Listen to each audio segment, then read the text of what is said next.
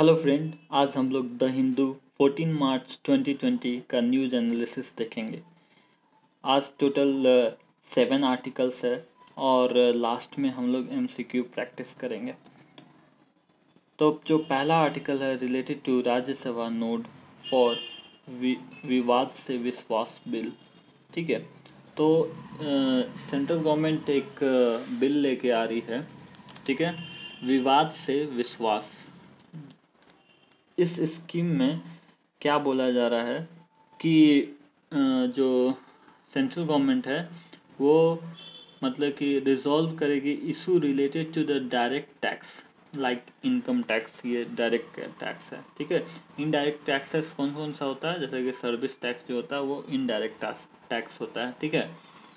और income tax होता है, वो डायरेक्ट टैक्स होता है। और कुछ हम लोग खरीदते भी हैं तो वो भी इनडायरेक्ट टैक्स होता है ठीक है?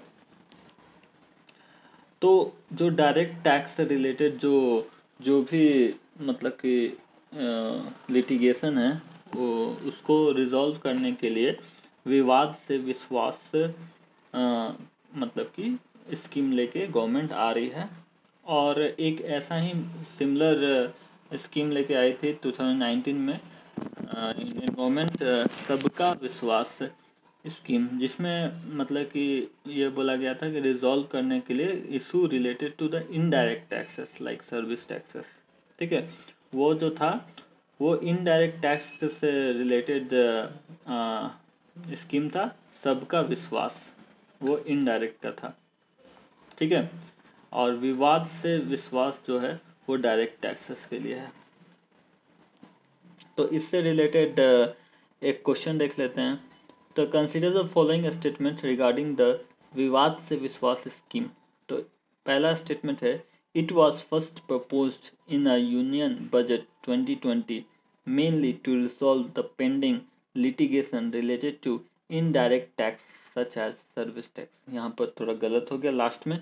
इनडायरेक्ट टैक्सेस नहीं है direct taxes such as income tax ठीक है? तो पहला स्टेटमेंट गलत हो जाता है। दूसरा स्टेटमेंट बोल रहा है under the scheme the appellant has to be appellant has to be pay only the amount of dispute tax with a complete waiver of interest and penalty if the payment are made before first June twenty twenty नहीं first June नहीं है thirty first thirty first thirty first April twenty twenty है। ठीक है? Thirty thirty first March twenty twenty है। ठीक है? Appellant यहाँ पर देखो appellant would be required to pay only the amount of the dispute tax and will get a complete waiver of interest and penalty provided he pay on or before the thirty first March twenty twenty ठीक है? फिर उसके बाद next next article है related to the rupees rebounds after the RBI intervention तो uh, जैसे कि rupees का वैल्यूज़ कम uh, मतलब कि कंस्टेंटली डिक्रीज कर रहा था एज़ कंपेयर टू डॉलर तो आरबीआई ने uh, ये फॉरेक्स स्वैप का स्कीम लाया जिसमें मतलब buy and sell of the foreign currency होता है आरबीआई के द्वारा ठीक है? तो इस आर्टिकल में क्या है कि appreciation and depreciation of the rupees appreciation और the depreciation of the currency is the increase और decrease in the value of one currency in relation to increase in uh, uh, foreign portfolio investment into the um, India indicate flow of dollar into the India hence the ability of the dollar is more compared to the rupees hence the rupees appreciation um, compared to the dollar long term repo operation क्या होता है कि R B I जो होता है will buy government security from the bank and in return uh, return provide them money for the long terms uh, for like uh, one year to three years ठीक है thus more money is uh, refused into the economic. ठीक है? तो ये जैसे कि अब इससे रिलेटेड एक क्वेश्चन पूछा हुआ है consider following statement an increase in a foreign portfolio investment to India में result in depreciation of the rupees नहीं अप्रिसिएशन होता है अप्रिसिएशन होता है रुपीज़ होता है। अगर फॉरेन पोर्टफोलियो इन्वेस्टमेंट अगर बढ़ेगा इंडिया में तो रुपी फॉरेन डॉलर का मात्रा बढ़ जाएगा और रुपीज़ का मात्रा कम हो जाएगा, जिसके कारण रुपीज़ का एप्रिसिएशन हो जाएगा वैल्यूज़ बढ़ जाएगा। अब लॉन्ग टर्म रेपो ऑपरेशन जो आरबीआई करता है, इससे क्या होता है कि absorb the liquidity of the market नहीं एब्जॉर्ब नहीं करता है। फ्लो करवाता है लिक्विडिटी इन द मार्केट क्योंकि वो गवर्नमेंट सिक्योरिटी परचेस करेगा तो गवर्नमेंट को पैसा देगा गवर्नमेंट को पैसा देगा तो वो घूम फिर के वापस लोगों के पास आ जाएगा। ठीक है? तो लोगों के पास पैसा ज़्यादा हो जाएगा तो इकोनॉमिक में लिक्विडिटी बढ़ जाएगा। ठीक है? तो बोथ द स्टेटमेंट गलत है। तो डी ऑप्शन हो जाएगा नाइदर वन नाइदर टू फिर नेक्स्ट आर्टिकल है related to the temples of critical thinking and debate ये syllabus related to this article is given in the right hand side ठीक है? और ये जीएस पेपर टू में पूछ सकता है।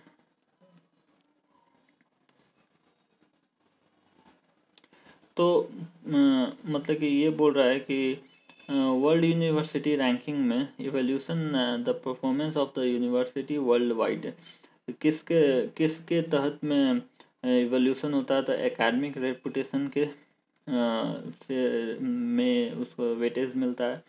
फिर employer reputation faculty student ratio पर भी मिलता है रैंकिंग फिर उसके बाद आ, आ, फिर international faculty ratio international student ratio पर भी मिलता है। फिर उसके बाद जो world university ranking by the subjects of the by the subject of the तो इंडिया का ranking Q S ranking twenty twenty में subject wise ranking performed better overall ranking not uh, even a single indian university is in top 150 ranks the factor attributing uh, to the success uh, of top western university autonomy free for uh, bureaucracy bureaucracy uh, corporate and political interference uh, pluralistic ideology no official uh, position uh, on any issue attraction uh, and retention of talent workforce admission of brightest and the most meritorious students include inculcating the inculcating the critical thinking debating and writing ability in the students encouraging to the look at issue thoughts interdisciplinary ठीक है Involving the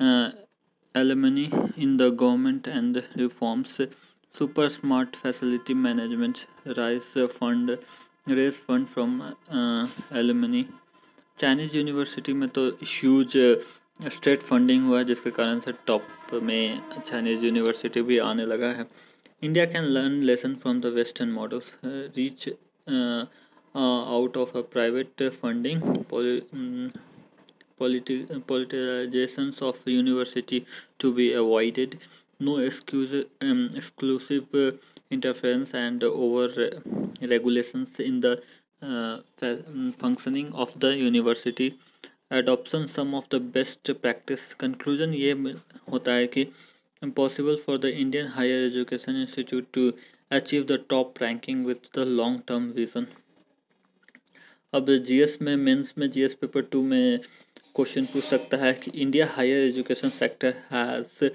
witnessed a tremendous growth in the number of university university level uh, institution and college since independence but India need a world-class higher education system free of uh, excessive interference. In the light of the above statement, suggests the measure to be involved in a higher education system in India. ठीक है one fifty word में लिखना है ten marks में, या comment box में लिखिएगा आप लोग। फिर नेक्स्ट आर्टिकल है relating to government six cities level plan for clean air. The syllabus related to this article are given the right hand side. ये प्रीलिम में क्वेश्चन पूछ सकता है और जीएस पेपर टू में मेंस में क्वेश्चन पूछ सकता है। तो बैकग्राउंड ये है कि एयर पोल्यूशन अलार्मिंग हो गया challenge of urbanisation cities seventy eight percent of the C O two emission India fifth most polluted countries in the world है रैंकिंग में आया है और world air quality index by IQ air Ghaziabad Delhi Noida most polluted cities में आता है particulate pollution respiratory symptoms decrease lungs functioning asthma etc ये इससे कारण रोग होता है।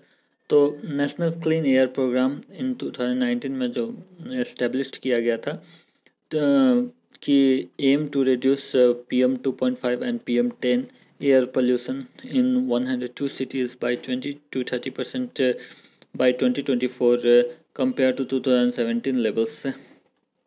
तो नेशनल क्लीन एयर प्रोग्राम का बहुत स्लो प्रोग्रेस है। Environmental ministers every cities has a different pollutants and source of the pollutants varies city level plan needed According, uh, around 70% of the sewage goes uh, untreated, and polluted the water bodies. Way forward, cities uh, specific, uh, specific plans uh, with uh, customized uh, regulations and uh, target to, to curb the air pollution.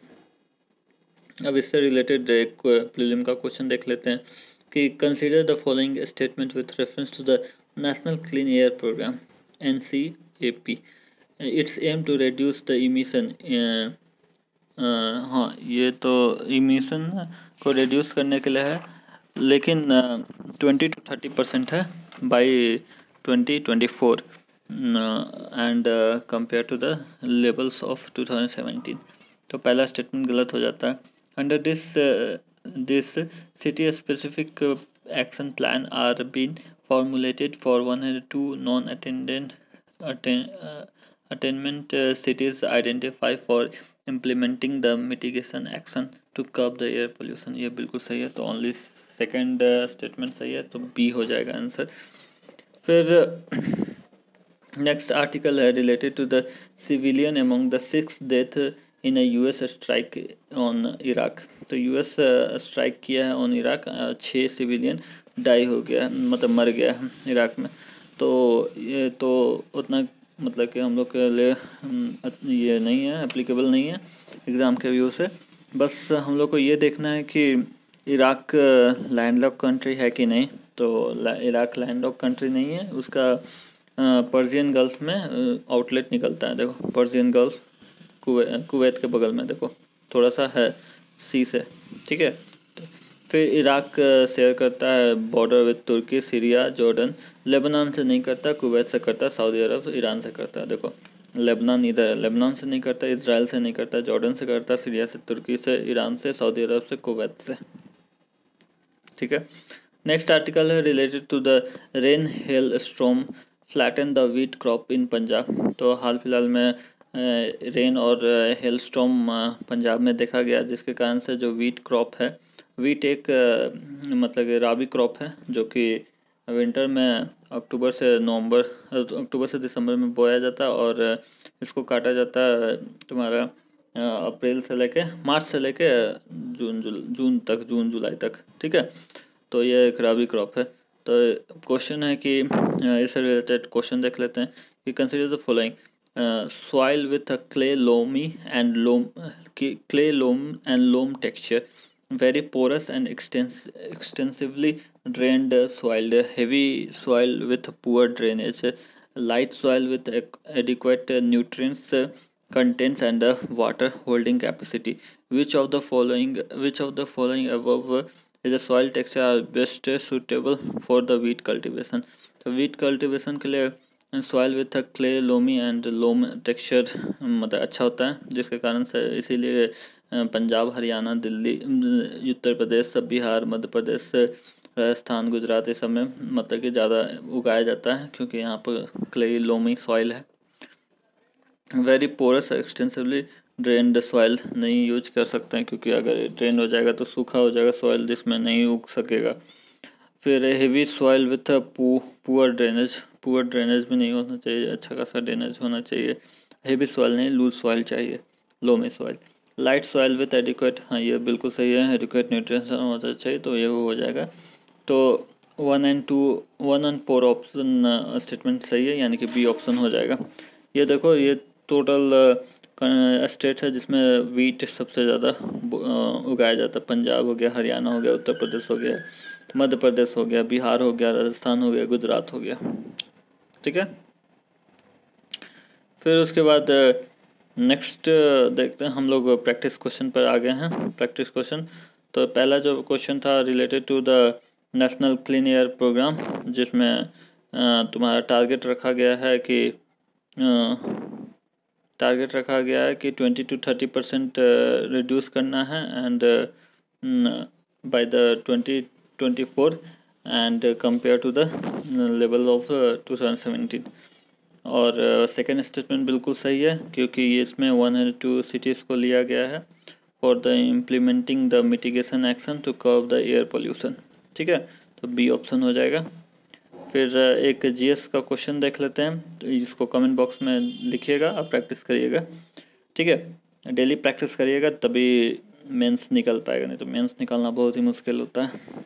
तो ये है कि India higher education sector has witness the tremendous growth in the number of the university university level institution and college since independence but india need a world class uh, higher education system free of uh, excessive uh, interference in the light of the above statement suggests the method to improve the higher education system in india answer in 150 words 10 marks and uh, uh, answer of a prelim question are given in the right hand side. Uh, please like subscribe uh, and share the video. And thank you